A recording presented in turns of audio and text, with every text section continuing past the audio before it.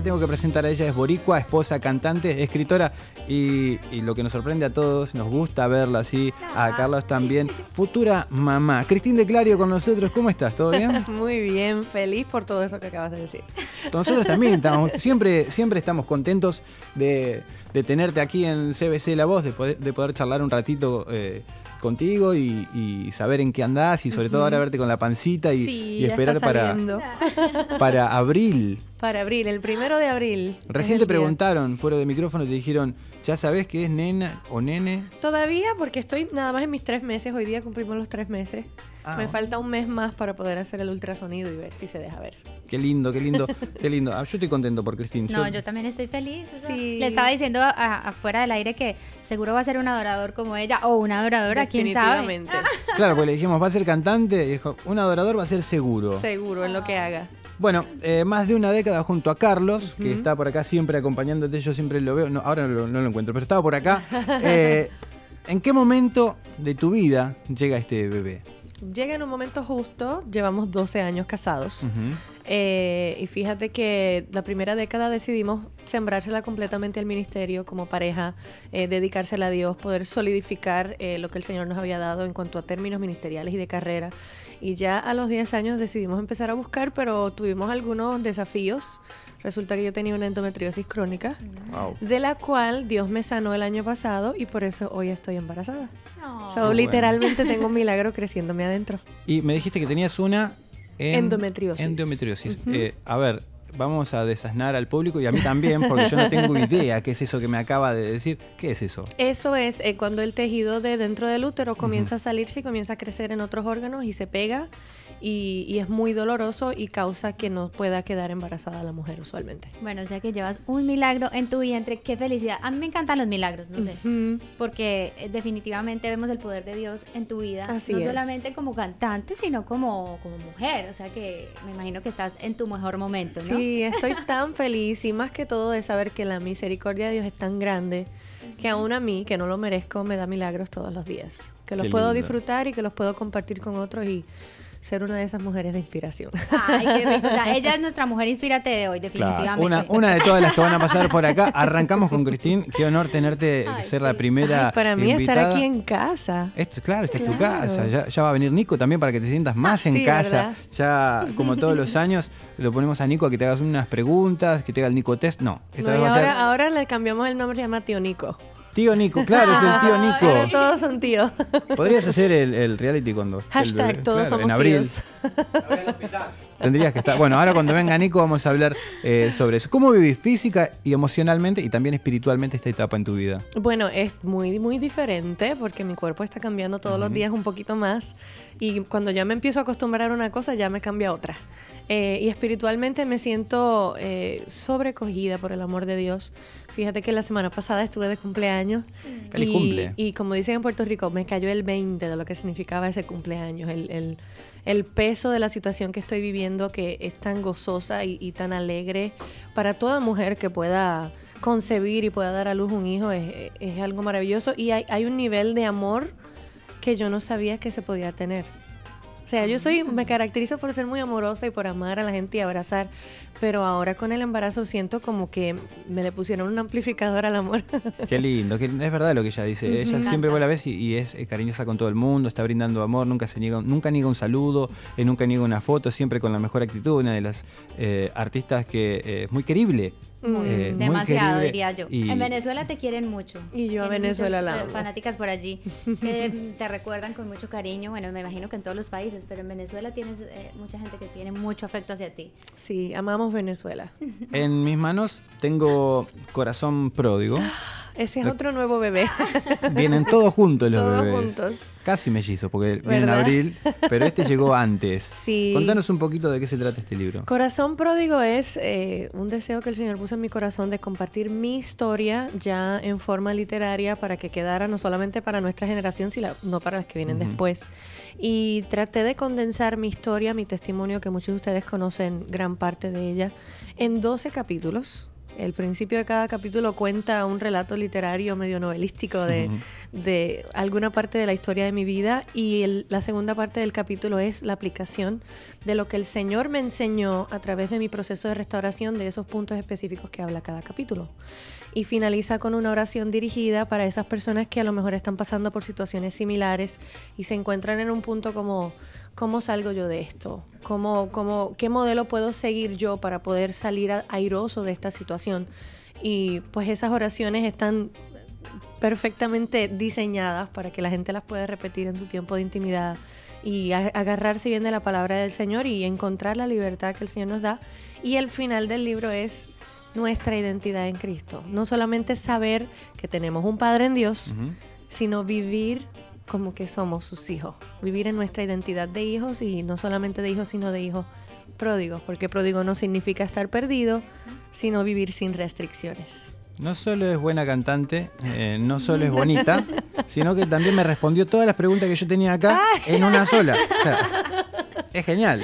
Gracias. Entonces yo voy a invitar a Nico, porque también seguro tiene preguntas, si lo terminan de maquillar a nuestra estrella de CBC La Voz, al tío Nico a que venga Tío al set Nico. de CBC La Voz para que hable con Cristín también.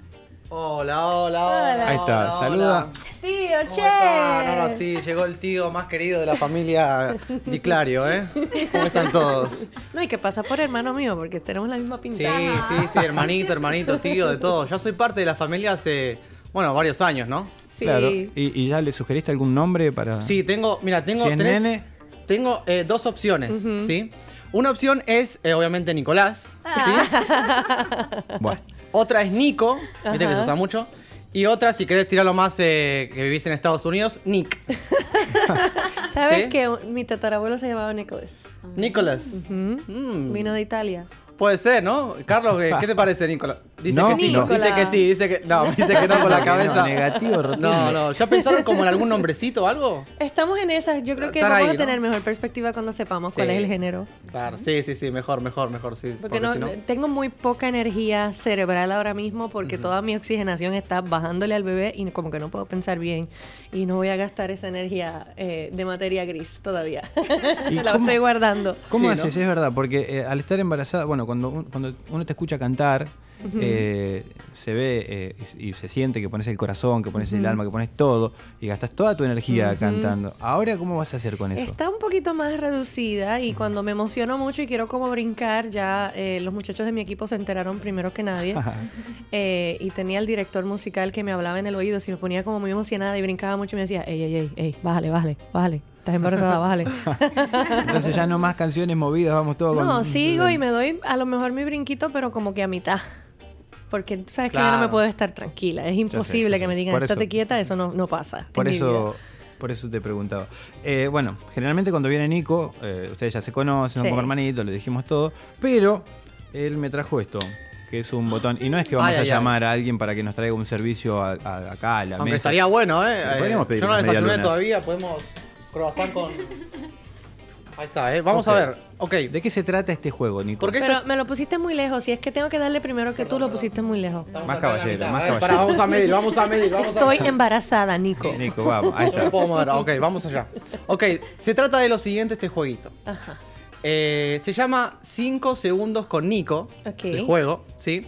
Y consiste en lo siguiente. Ángel, ¿sí? Sí. Nos va a decir que digamos tres cosas de una cierta categoría. Ok. Por ejemplo, eh, Christine, dime eh, tres tipos de animales, ¿sí? Y nos vamos a ir turno por turno, ¿sí? Voy a- y, y para responder tenés 5 segundos solamente, ¿eh?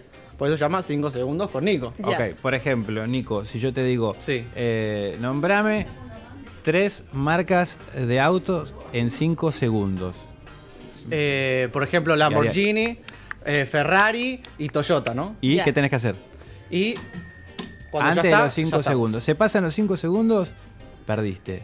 Lo mismo, Cristín. ¿Y me pasan los puntos a mí?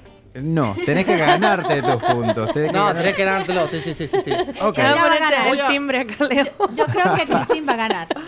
Mira, voy. Vamos a ver si funciona. Sí, sí, sí, sí, sí. Es muy temprano, las neuronas todavía no se despertaron. No, y las del que, todo. las que están despiertas se las está comiendo todas el bebé.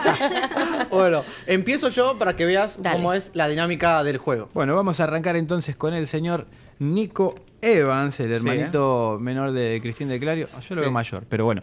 El hermanito. Con la barba, ¿no? Claro, está más grandecito. Sí, sí, sí. Miro a veces el reality, las imágenes y le digo, qué chiquito que era Nico.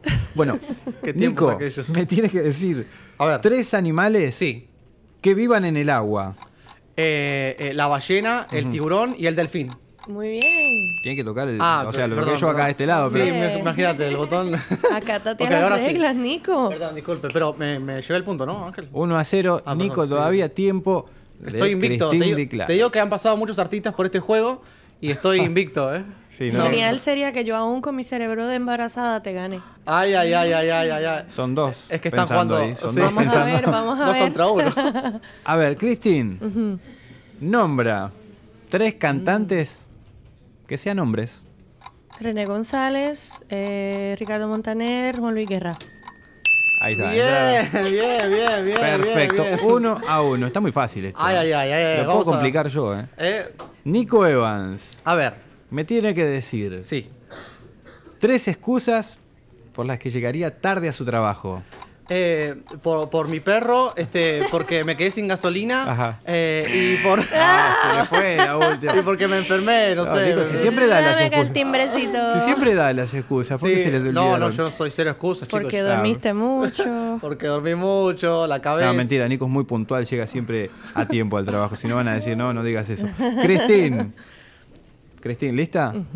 Cristín, me tenés que decir tres sonidos de animales. ¿Hacerlos? Sí. Ah, woof, woof. Ah. Miau. Ay, no entró. El pato quedó afuera. El, El guau, pato era quedó un pato, afuera. ¿no, eh, Cristín? ¿El último que hiciste? Un pato. Pato dormido, sí. pero pato. Sí, sí. Nico A ver, a. Evans. Sí. Van uno a uno. Esta se define. A ver, Nico Evans. ¿Esto es verdad? ¿Lo que dice acá? no sé, la producción de Más Ok. Vale Tarde lo hizo. Bueno. A ver. Dice, Nico Evans, Sí. dime tres cosas que te gusten de Cristín. Eh, su pelo, eh, su voz y su sonrisa. Qué lindo. Ah, bien, bien, bien. Llegué Bien, lindo. un bien. poco tarde, puse Bien. un poco nervioso, chicos, perdón. No, por eso no le di al botón. Gracias, che. Ah. Ahora, Cristín, ¿lista? Ajá. Ah, de robar. Ay, ay, ay, ¿eh? Cristín, me tenés que decir tres cosas que te gusten de Nico. Su sentido del humor, su alegría y su barba. Ah, Ay, bien. entró, Ese entró, no me digas que no entró. bien, bien, Entró sí, sí, Yo sí, no sí. tengo más preguntas. Yo podría hacer más si quiero para desempatar. Pero lo podemos dejar en empate, Ángel, si querés. Usted no Sí, quiere perder. Usted no quiere para que perder. no pierda el Nico que está invicto. Sí, sí, no, Entonces no. así yo comparto esa No, es que corona. no le ganó a nadie, Nico. no por eso no quiere perder. por eso no, quiere perder. perder. Sabe que va a perder.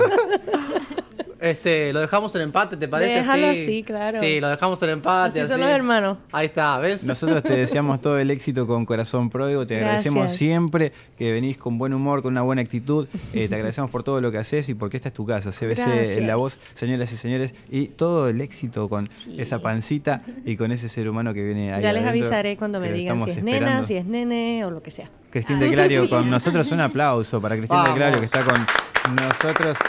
Nosotros vamos a seguir aquí en CBC, La Voz con más invitados, con más gente que llega al set, a este set que es íntimo, que nos permite estar más cerquita de, de nuestros amigos.